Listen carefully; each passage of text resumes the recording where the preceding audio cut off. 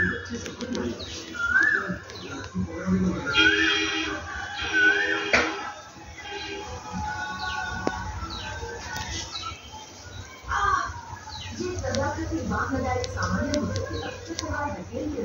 सामान्य ऊपर ऊँचे लगाव से गिरकर